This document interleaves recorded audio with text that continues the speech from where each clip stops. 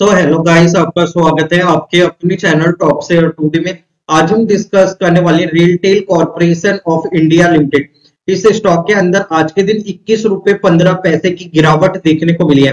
और ये स्टॉक साढ़े चार परसेंट के करीबन की करेक्शन दिखाता हुआ नज़र आ रहा है। स्टॉक करंट लेवल पर चार सौ सत्रह रुपए पंद्रह पैसे पर ट्रेड कर रहा है।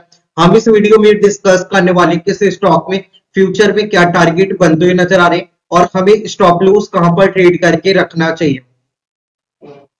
स्टॉक का चार्ट पैटर्न देखें तो इस स्टॉक में नीचे एक सपोर्ट लेवल बना। Three hundred fifty five rupees three hundred fifty five rupees के स्टॉक में इस पॉइंट पर एक सपोर्ट लेवल बना। और यहीं से स्टॉक के अंदर एक रिवर्सल ट्रेंड बनता हुआ नज़र आया। स्टॉक में ऊपर रुकावट रही थी फोर हंड्रेड फाइव रुपीज़ जो कि अब इस स्टॉक में एक सपोर्ट लेवल की तरह काम कर रहा है। यहाँ से स्टॉक ने जैसे इस प्राइस को ब्रेकआउट दिया था स्टॉक में एक वन वे रैली बनती हुई नज़र आई। और स्टॉक ने फोर हंड्रेड एटी रुपीज़ का हाई बनाया। ऊपरी लेवल पर स्टॉक में लगातार एक करेक्शन देखने को मिल रही है। अब स्टॉक का जो नीचे का एक बड़ा सपोर्ट लेवल है, वो फोर हंड्रेड फाइव रुपीज़ पर है। जब तक stock four hundred five rupees से ऊपर रहता है स्टॉक के अंदर एक पॉजिटिव ट्रेंड देखने को मिलेगा।